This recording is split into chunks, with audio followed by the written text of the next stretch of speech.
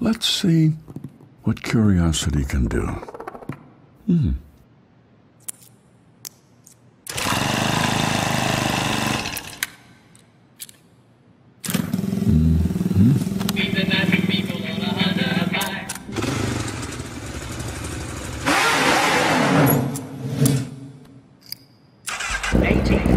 Win for that man jumping in.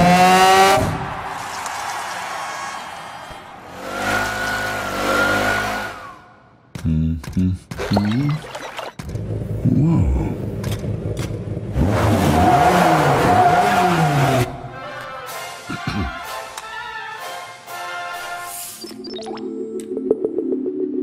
Today's forecast, we should reach a high of oh.